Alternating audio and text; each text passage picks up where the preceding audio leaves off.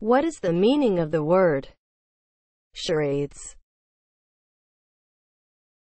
As a noun, player acts out a phrase for others to guess. Charades is spelled C H A R A D E S. Charades